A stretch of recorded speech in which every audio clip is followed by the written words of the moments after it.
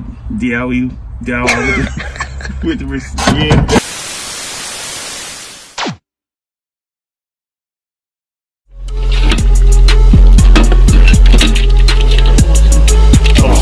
Let it down.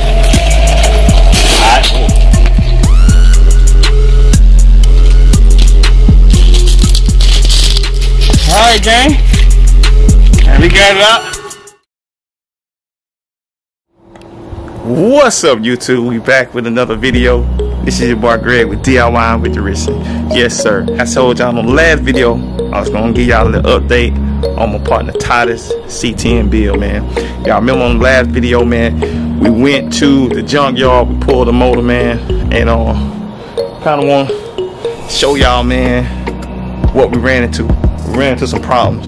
So we got the motor back, man. We started we put everything together, put transmission everything in. We we had got a lot of rain. We had got a lot of rain. So this this, this was on us, man. This was on us. We covered it up.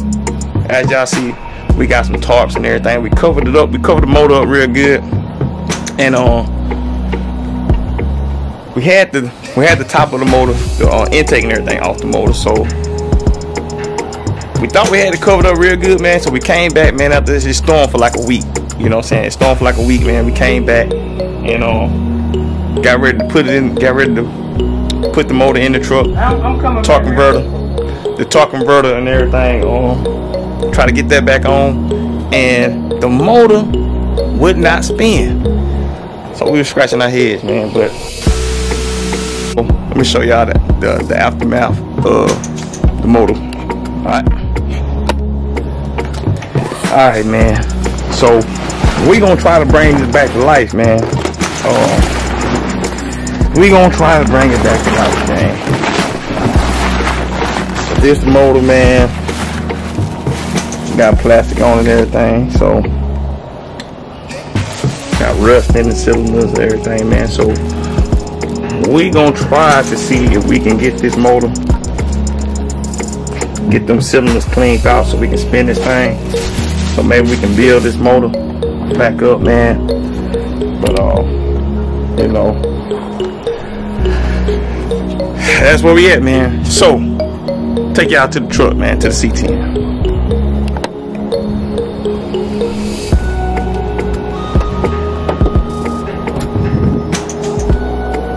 So this is my partner Titus.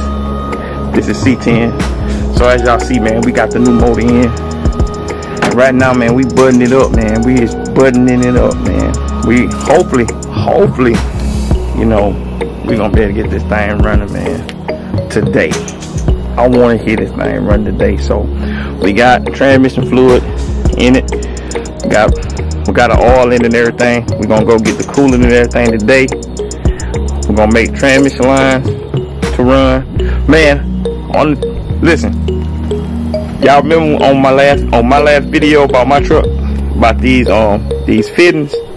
And I said they, they didn't want to screw on. They did they do screw on. They do screw on. So if y'all get the ones from ICT billet those do screw on. Um man I guess it was just our radiators. Because his radiator I was able to screw it on by hand. So I guess it was just a thread and we got the exact same radiator. So so um I just did it by hand. I just ain't want to take the chance but on his it, it screwed out in so that's what we got today, man. So we're gonna try to plumb this thing, man. Get it ready, and hopefully we can fire up, man. All right, we'll be back. Just it's a little different from mine. See how I got his? All right, so of course that's the that's the hose. That's your return hose. But on his, we use the factory Silverado that we got the motor out of, and I was able to make that work. And, it, you know, you just have to route it around this way instead of up and under like the one on, on that one I had. So save him a little money, man, because we had this hose and I was able to kind of bend it, you know, get it bent the way I needed it. And um, shoot, man, it worked out. So we got that power steering together. So we're gonna get this, we're gonna get his transmission lines in. And um, also, man, on this on this truck here, on this one, what what year this truck is, T? 1984 Chevy Silverado. So this is 84. So on this on this truck, man, the problem we we ran into an issue on this truck. So on mine, I'm using I'm using headers on mine, but we using stock manifolds. So down here, which I'll probably get down there and let y'all see it. But um, down there, we gonna have to notch the frame. So so on some of these, if you're gonna if you're gonna use the stock manifolds like we doing, you might have to do a little modification to the frame. So when I get down there, man, I'll show y'all what we got. All right, all right, gang, man, we've been plugging away at it, man. All right, so we we got the manifold on. We got the coil packs on, wires on, intake. Got the intake in, everything's plumb. Got the fuel line ran. All our vacuums all our vacuums is done. We're gonna have to put a blockout plate for the EGR valve. We put on all the fluids in. We got power steering fluid in, we got radiator fluid in, we got oil, we got transmission fluid in. Man, we have been getting it in. Right now we see we got the wire harness. I'm finna start laying the wire harness out. Um, let's see, down there. So everything, man, everything's coming along, man. Everything's coming along. I gotta get down there. I gotta put the um. I just took the old starter just took the old starter on off, found the trigger wire for the starter. Uh, pushed all that down up under there. We're gonna get the starter on, but what I'm gonna do, I'm gonna start mocking this um this harness up, and cause I gotta get you gotta um your crank position sensor that's on this side of the motor right there. I gotta get that plugged in because if you put that starter on before plugging it in, you will not be able to, um, to plug that in. So man, it is coming along, man. It is coming together, man. We got all water holes. All the water hoses set up. Everything is plumbed and ready to go. We still got to get a, a belt. And um, shoot, man. What you think, Mr. Todd? Good. We getting there. We getting there, man. We getting there. We getting there. So I still got to um I still got to take the VATS off of that, off his ECU. So I'm gonna take that home today, and uh, I'll probably go ahead and work on that. But uh, yeah, man, we coming. We coming. All right, gang. So I got my partner Titus ECU. We finna try to go ahead on and um, see if we can go ahead on and on tune this thing, man. I already got the tune wrote up.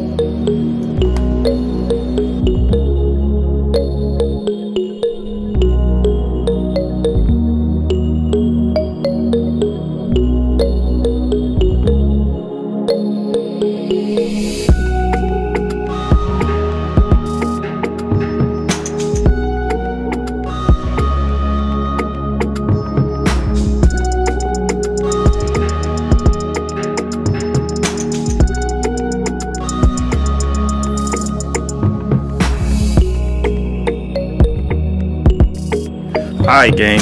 Man, we this is a whole nother day, man. I'm back by myself, man. My partner he my partner Titus here at work. Man, we have we've been having all type of problems with this motor, man. This swap, man, it been it been uh. Anyway, man, let me kind of show y'all where we at, man. Where we at up on my partner's Titus C10 swap. Alright. Last last last time I was over here, man, we we tried to crank it. And um Basically show you what problem we had. Alright. Alright gang. So let me show y'all what we ran into. Alright, so I'm gonna put the power put the power on here. Power battery in. And this right here is our ignition switch for the ECU, right? Alright. So this is what happened last time.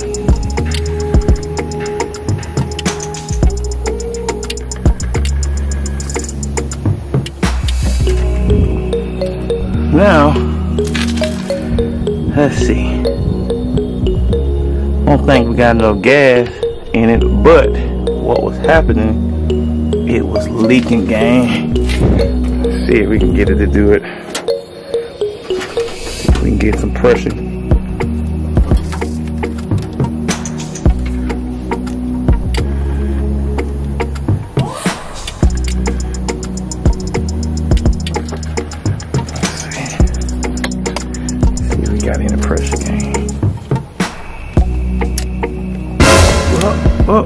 Got a little something. So, what was happening, man? So we got pressure there, but what was happening? We was leaking. So y'all, we was leaking. We was leaking, and I fuel filter regulator. So what I'm gonna do? I'm gonna go ahead on and put some clamps on them, dude, cause those are push lock. But for some reason, um, this line that we use is some reason they holding the pressure. So we gonna do that. I'm gonna do that real quick. Uh, I'm get back with you. There it is, gang. That's what I was talking about. That pressure built up, and boom.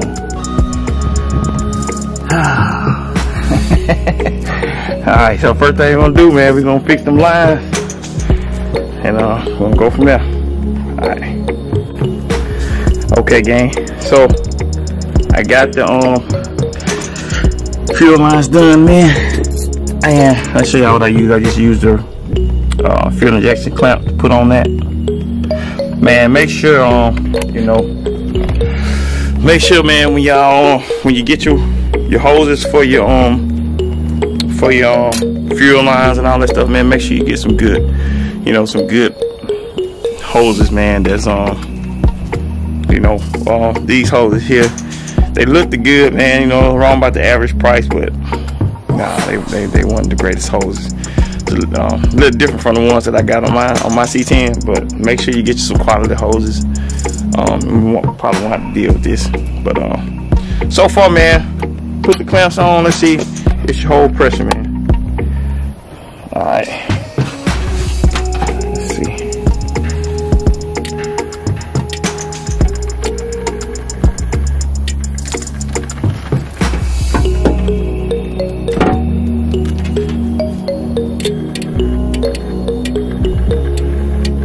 Far it's looking like it's holding pressure. We gonna um, see what she do, man. I'm gonna um, try to see if I can crank her, man. See what she do. So um, I'll get back with y'all, man. I'm gonna try to sit, do this and set this up where it'll work, where I can go in and in the ignition and um, crank it over by the switch. All right. All right, gang man. Let's see what it do, man.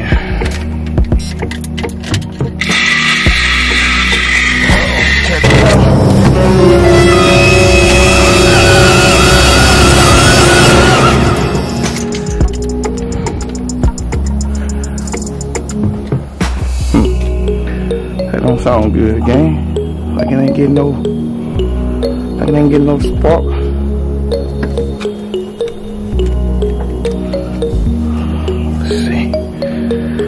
Gang, let me um, finish looking at this and see what the deal is, man. Alright, I'll get back with you.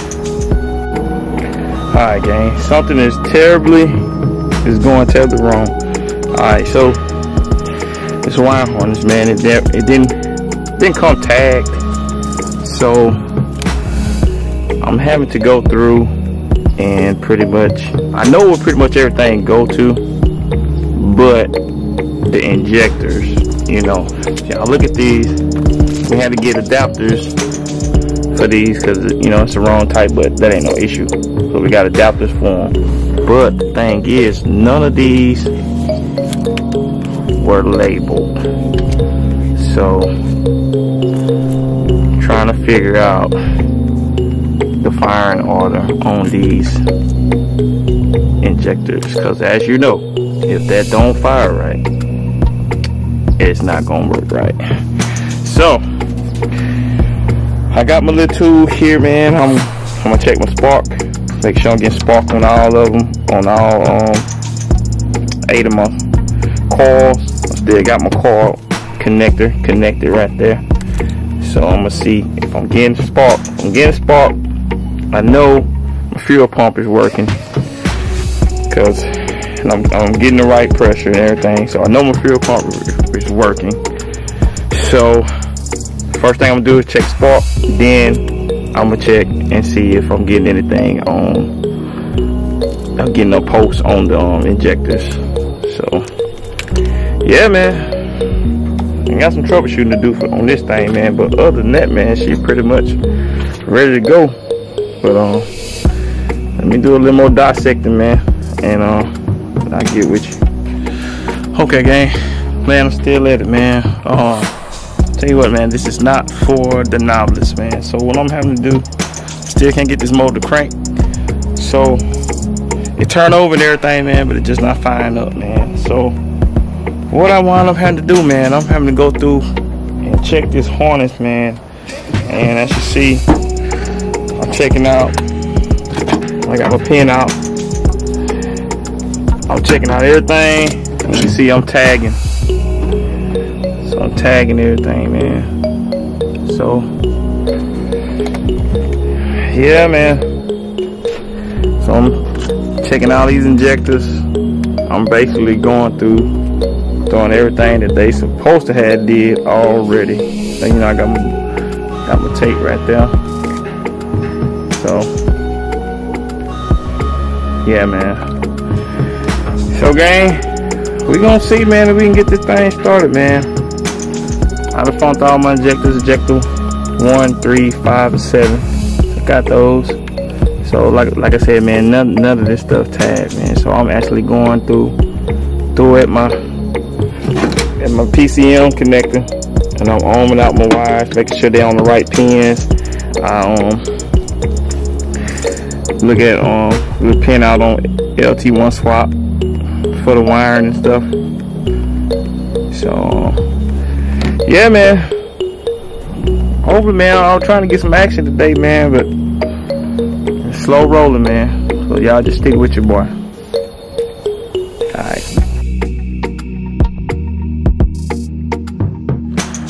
What's up, gang, man? We back, man. It's been four months.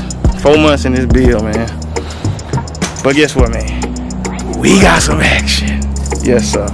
So, man, I'm finna show y'all my partner's Titus truck, man. Back there with the cover on. We're gonna take the cover off and uh we gonna crank up, man. Let's see how she sound, man. Alright, here we go. Let's go. Alright, gang. So as y'all know, man, this my partner Todd, man. He ain't here today. But uh, I wanted to show y'all where we at. On the 84 swap. LS swap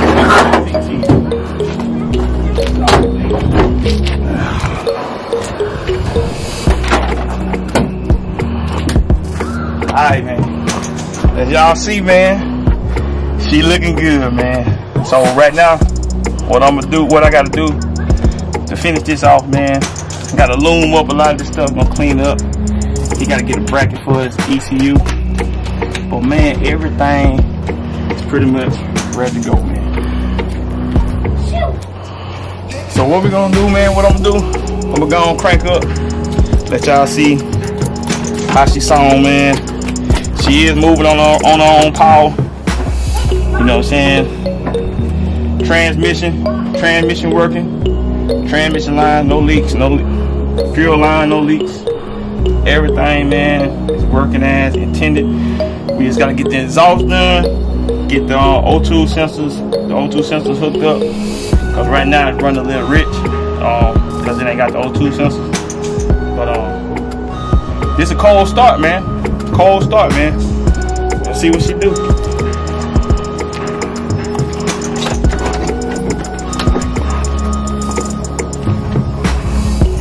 Alright, gang. Cold start. Fuel pump start up.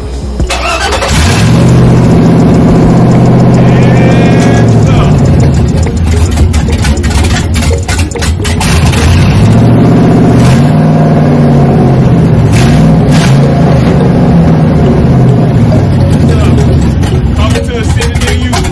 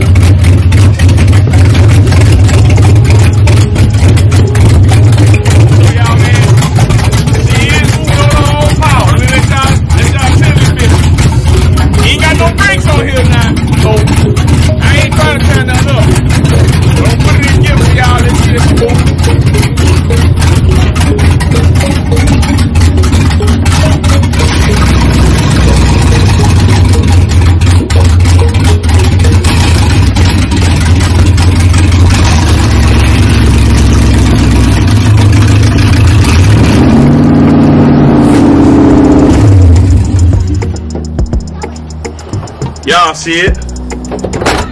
DIY with the wrist, man. So we got this swap done. Got just a little bit more wiring to do.